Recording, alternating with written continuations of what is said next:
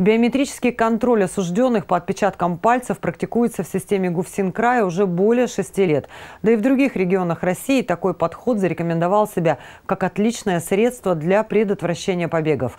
Зачем потребовалось внедрять распознавание по чертам лица и почему биометрический контроль стал обязательным для заключенных, расскажем далее. В учреждениях ГУФСИН России по Красноярскому краю система биометрического контроля начала внедряться с 2010 года. Ее суть в том, что в базу специальной программы заносятся данные о папиллярных узорах всех осужденных, после чего с помощью считывателей, к сенсорам которых заключенные прикладывают пальцы, проверяется наличие осужденных в учреждении и подсчитывается их общее количество. Как правило, это происходит трижды в день, утром, в обед и вечером. Внедрены э, данные системы биометрии во всех учреждениях без исключения. И работаем уже сегодня мы с количеством устройств 360 единиц, из них 100 переносных. Переносные устройства используем в запираемых помещениях, в медицинских частях, там, где осужденные не могут появляться в общественном да, как бы месте, скажем так. Основная масса считывателей установлена в столовых. Основная задача системы биометрического контроля – не допустить побегов из мест заключения. Биометрия является дополнительным средством контроля наряду с традиционными утренними, вечерними и ночными проверками, которые проводят сотрудники учреждений.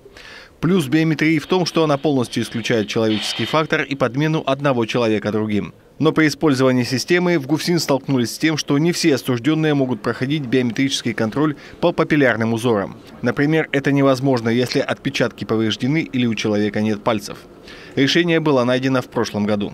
Нашим отделом управления были проведены определенные скажем так, технические изыскания. Мы внедрили, начиная вот с ИК-17, где сегодня мы присутствуем, мы внедрили биометрический контроль по, ну, так называемый, по биометрии, по геометрии лица. Э, программа сличает изображение в реальном времени с фотографией, которая у нее находится в базе. Такой расширенный биометрический контроль сейчас используется в 9 учреждениях ГУФСИН края. Сталкивались сотрудники и с другой проблемой. Иногда некоторые осужденные демонстративно отказывались проходить биометрический контроль, чтобы привлечь к себе дополнительное внимание администрации. До нынешнего года такие демарши не влекли за собой никаких санкций, поскольку прохождение биометрического контроля, по сути, было делом добровольным.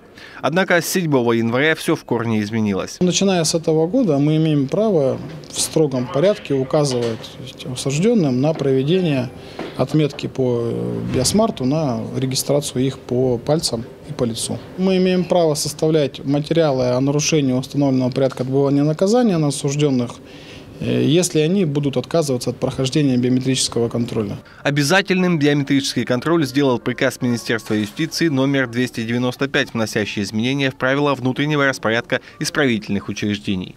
Таким образом, сейчас прохождение биометрического контроля – это не право, а обязанность осужденного. И неисполнение этой обязанности чревато наказанием. Дополнительный контроль лишним не бывает, особенно в местах лишения свободы. Отрадно, что система биометрии со своими задачами успешно справляется. К другим темам.